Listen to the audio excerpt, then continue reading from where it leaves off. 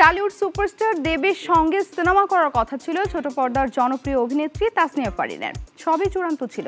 তবে ক্ষমতার পট পরিবর্তনে সবকিছুই যেন অনিশ্চয়তার মধ্যে পড়তে যাচ্ছে তার। ফলে চিন্তার রেখা ফুটে উঠেছে অভিনেত্রীর কপালে। গণ আন্দোলনের মুখে আওয়ামী লীগ সরকারের পতনের পর ভারত অনির্দিষ্টকালের জন্য ভিসা বন্ধ করে দিয়েছে। এটাই ফারিনের দুশ্চিন্তার কারণ। এভাবে চলতে থাকলে কলকাতায় যাওয়া অনিশ্চিত তার। আর তাই যদি হয়, তবে হাতছাড়া হয়ে যেতে পারে দেবের সঙ্গে অভিনয়ের সুযোগ। এরকমই ভাবছেন ফারিন। দেবের বিপরীতে প্রতীক্ষা নামে একটি ছবিতে কাজ চূড়ান্ত হয়েছে। অভিজিৎ সেনের পরিচালনায় ছবিটির শুটিং করার কথা আগামী নভেম্বর থেকে। কিন্তু দেশের বর্তমান পরিস্থিতির কারণে ভারত সরকার অনির্দিষ্টকালের জন্য ভিসা বন্ধ করে দিয়েছে। এ নিয়ে তার একটু দুশ্চিন্তা হচ্ছে। কারণ এখন থেকেই ছবিটির প্রি প্রোডাকশনের কাজ শুরু হওয়ার কথা। তার কপালটাই খারাপ। গত বছর বিপ্লব গোস্বামীর পরিচালনায় পাপড়ি চাই নামের একটি ছবির কাজও আটকে গেছে।